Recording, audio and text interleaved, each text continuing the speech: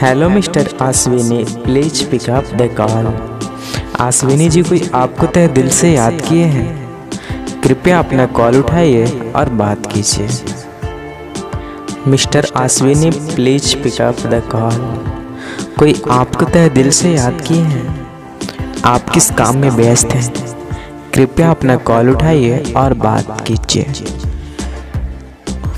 Please pick up the call Ashwini कृपया अपना call उठाइए नहीं तो कॉल कट जाएगी।